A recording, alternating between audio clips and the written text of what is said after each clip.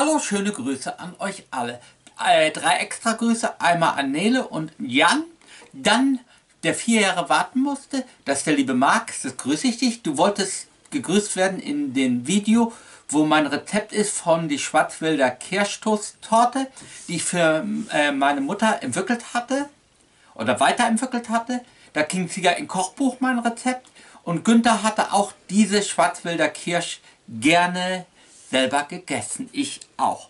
Ähm, diese Variante ist ohne Alkohol. Die Variante mit Alkohol, da kann man etwas den Boden tränken und in der weißen Sahne ein bisschen, ein halbes Kirsch, äh, Schnapsglas äh, Kirschwasser reingeben. Aber diese Variante ist ohne, ohne eben ohne Alkohol. Da fürchtest du noch mal ein, alle Produkte, die hier stehen, sind nicht gesponsert.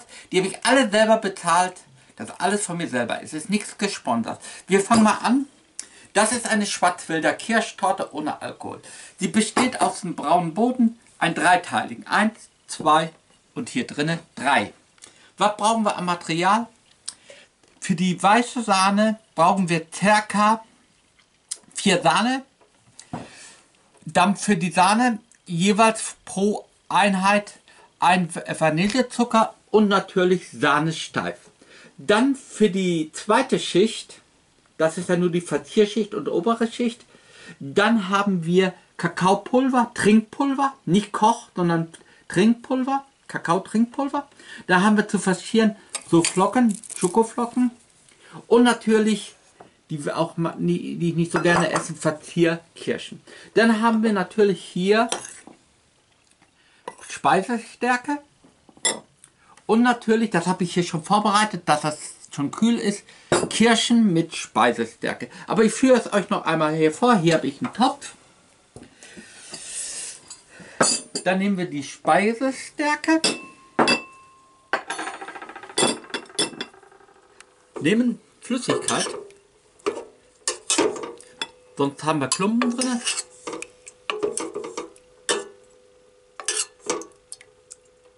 bisschen mehr, drei, vier Löffel.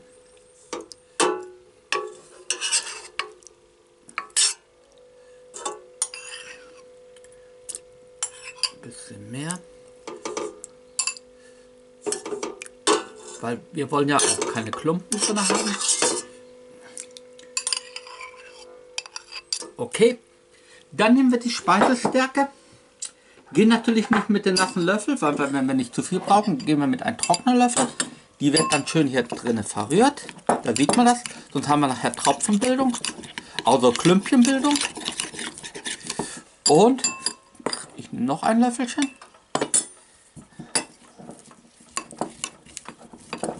Etwas trocken. Dann nehmen wir hier mit dem, mit dem Kochlöffel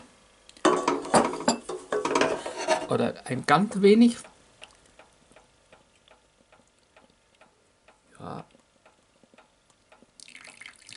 Reicht schon. Jetzt können wir dann noch einen beifügen.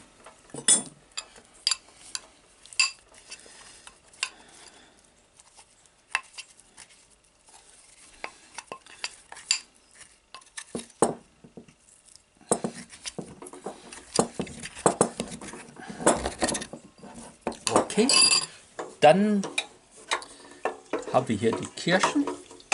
Dann tun wir schon mal hier die Speisestärke rein.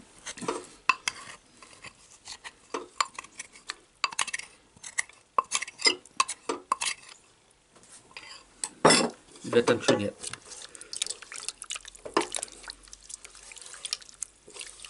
Und das Schöne hier, habe ich einen schönen Kochlöffel aus Holz. Den habe ich aus Thailand, selber in Thailand mir besorgt, weil es schön stabil ist. Jetzt müssen wir das schön dick werden lassen, da wegen die Speisestärke. Wer keine Speisestärke hat, kann auch Mehl verwenden. Aber ich nehme immer Speisestärke, weil es besser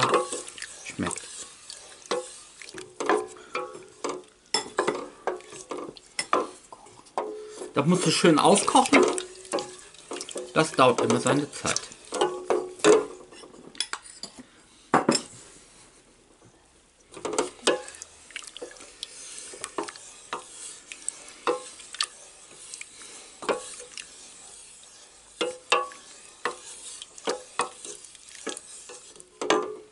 Das muss dann auch blubbern.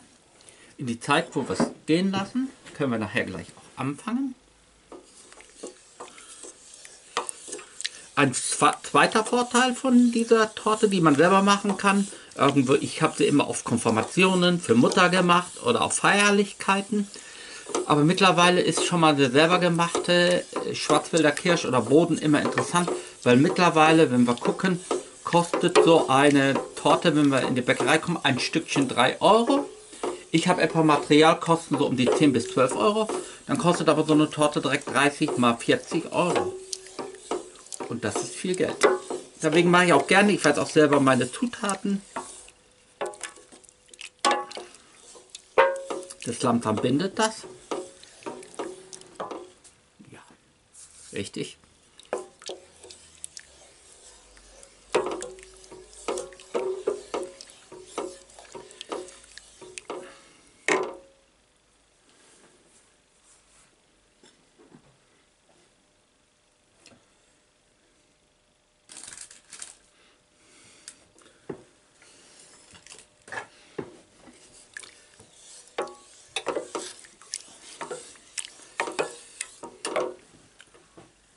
Okay, die hat es gebunden, die ist es dickflüssig. Dann stellen wir sie so hin und das machen wir weiter. Okay, hier haben wir den Boden.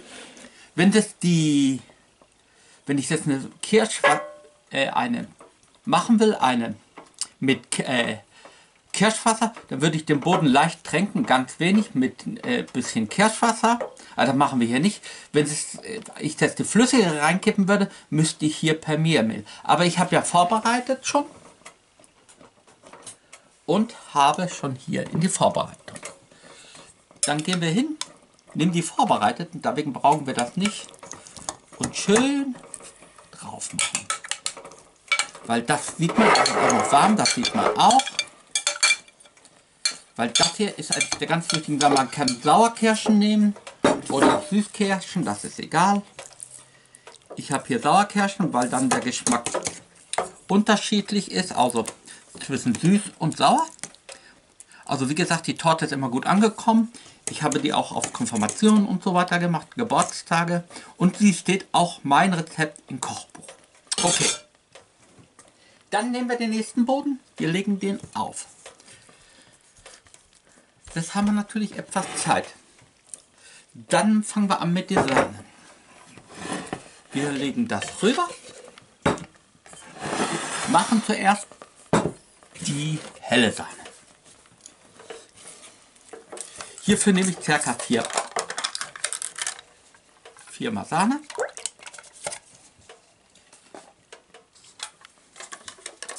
Ich nehme gerne lieber frische Sahne und nicht die, äh, die hoch konservierte, die jahrelang hält oder ein halbes Jahr oder Wochen. Die Frische ist immer ideal. Pro Becher, also pro Becher nehme ich am Ende ein Danischsteif und eben natürlich Vanillezucker. Okay, dann fangen wir mal an. Warum fange ich erstmal an mit der bei der hellen Sahne ganz einfach. Ich muss jetzt den Stromkabel von der Kochplatte rausziehen, weil ich nur hier eine Steckdose habe. Okay, dann fangen wir mal an. Den Mixer auf kleine Stufe Wir fangen dann an mit seinem on.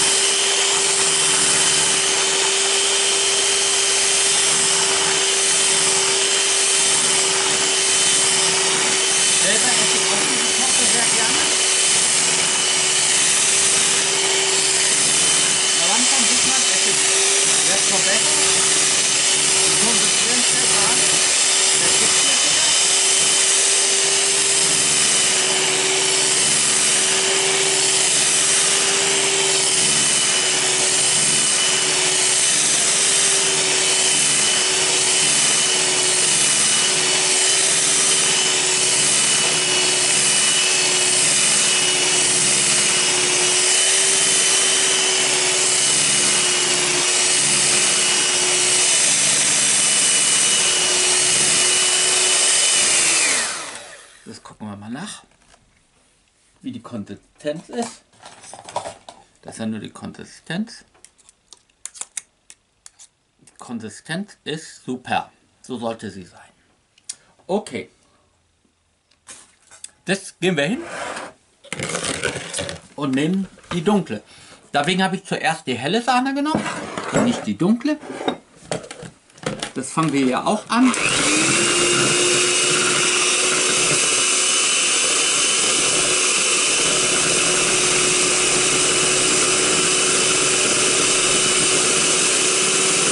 Hier nehmen wir auch wieder zwei Becherchen.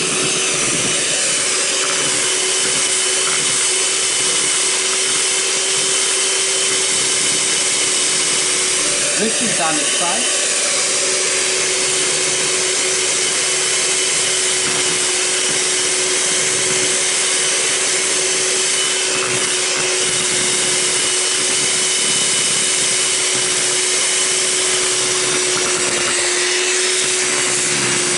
Vanillezucker.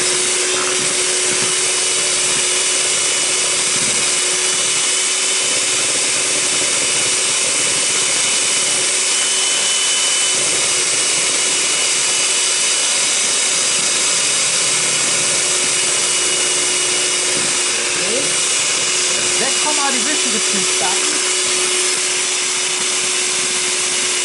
Dass ihr die dunkle habt, die dunkle Schicht, man sieht es, und noch alles. So drei Löffelchen, je nach Geschmack. Wichtig ist nicht die Kochkakao, sondern der Ziehkakao. Wollen wir noch einen reinmachen? Je nach Geschmack. Ja. Das machen wir bitte. Danke.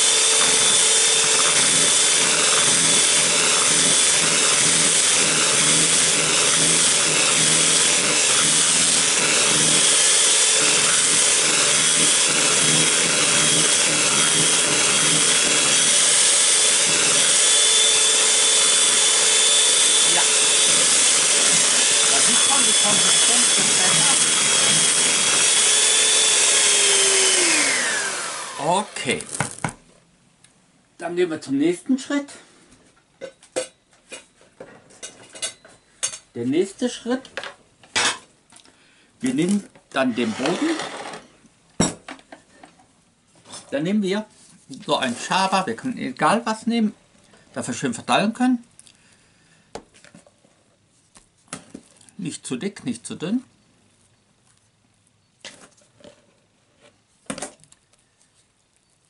Aber schön verteilen. Wir können auch, wenn wir wollen, noch ein bisschen tiefer, also mehr Kakao reinmachen, aber mir reicht die Schicht schon.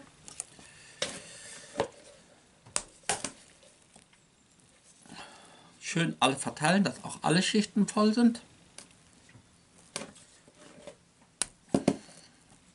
Und wie gesagt, dieses Rezept hat es bis in Kochbuch geschafft. Okay, dann kommen wir zum nächsten. Der Boden. Das ist die Endschicht, die Bodenschicht, also die, die Deckelung. Okay, das kommt jetzt zum Trick. Das können wir entfernen. Ja, perfekt. So wollte ich haben. Das kommt zum Verkleiden. Da habe ich so einen Spaten. Spachtel. Wir fangen einfach an mal mit die Deckschicht.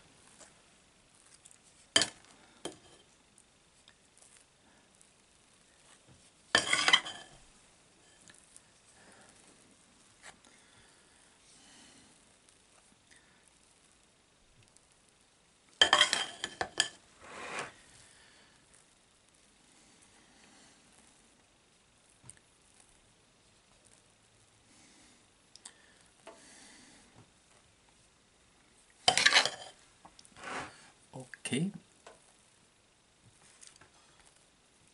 Sieht schon mal gut aus. Jetzt kommt die Seitenverkleidung. Auch die Seiten sollen verkleidet werden.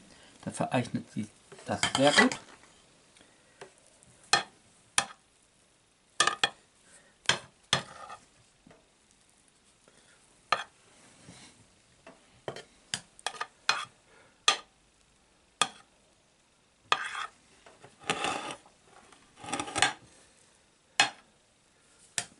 So eine Torte kann schon fast ein Kunstwerk werden.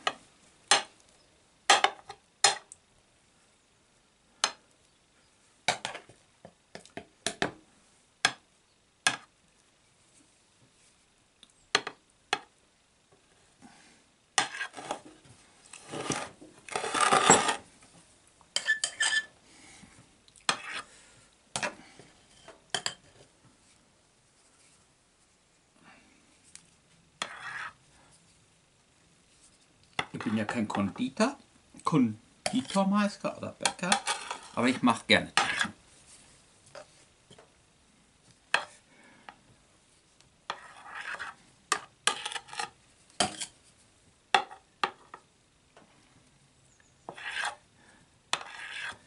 Okay, so sieht es schon besser aus.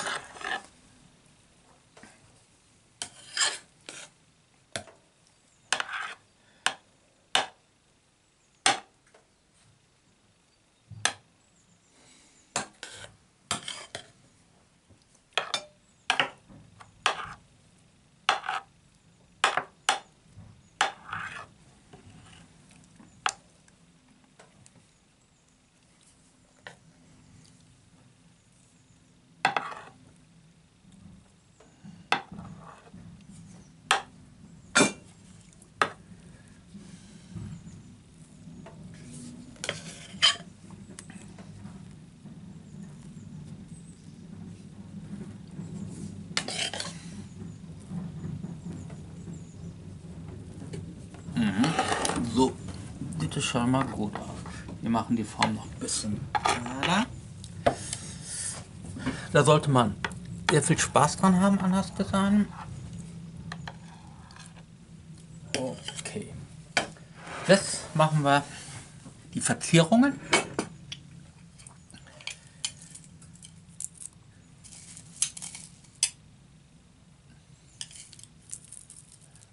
Zuerst machen wir hier die drauf.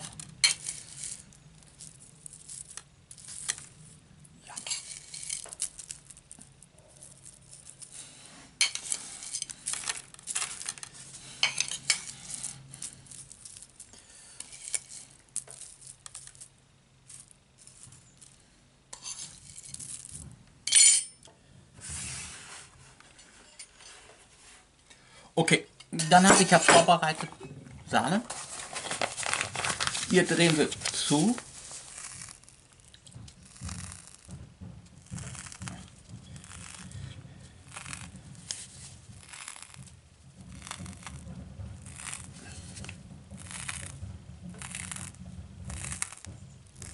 Die Optik soll ja auch stimmen. Und in der Mitte machen wir auch nochmal, was mir gefällt. Ja. Dann kommen wir zu den Belegkirschen.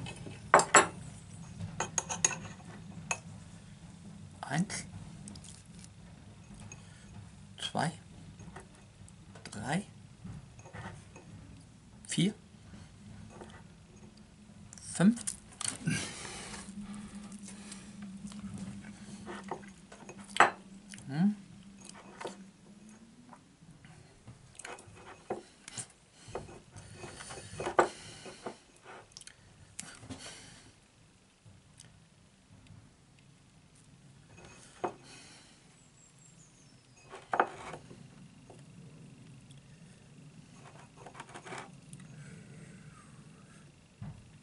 Eine Torte ist auch ideal, das hier zu machen für Ostern. Richtig. Wenn eine große Familie hat, ist das sehr gut. Und nochmal hier eine. Okay. So sieht sie schon mal gut aus. Schmecken tut sie noch besser, wie das aussehen. Ja. Das könnt ihr sie auch mal nachmachen. Ich hoffe, euch gefällt es. Ich sage ciao, ciao, eure Money. Natürlich noch eine kurze Sachen.